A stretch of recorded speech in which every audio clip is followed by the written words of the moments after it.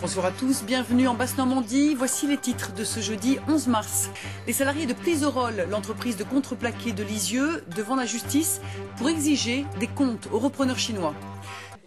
Un nouveau rendez-vous judiciaire pour Plisorol, l'entreprise de contreplaqué à Lisieux. Un an après son rachat par le chinois Zhang, les 210 salariés ne se font plus d'illusions. Ils ont enchaîné les périodes de chômage technique et n'arrivent pas à connaître la situation financière de leur entreprise. Leur avocat a donc demandé des comptes à la direction devant les tribunaux. Pierre-Marie Pio, Cyril Duponchel. Qui croire Que croire? Faut-il encore accorder du crédit au patron chinois que les salariés voient aller et venir dans sa berline noire? Les lettres ouvertes qu'il affiche sur les murs de l'usine font état d'investissements en France et au Gabon, où le groupe exploite des forêts.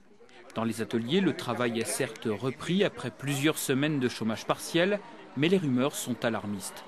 On se dit est-ce qu'à la fin du mois on sera payé Est-ce que pour la suite, euh, apparemment pour les mutuelles Les mutuelles sont, prélevées et on n'a plus de mutuelles. C'est bloqué.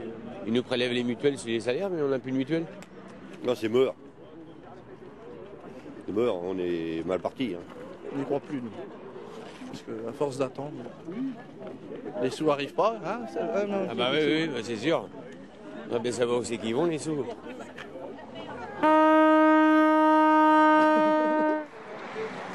Depuis le mois d'octobre, le comité central d'entreprise demande en vain à la direction des informations sur la situation financière de la société. On verra s'il paye ses cotisations, si, euh, ce qu'il doit réellement, quoi, parce qu'on nous dit qu'il paye rien. Là, on va peut-être avoir vraiment une réponse.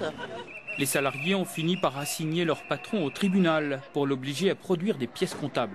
Mais à l'audience, l'avocat de Plisorol déplore le harcèlement dont ferait l'objet l'actionnaire.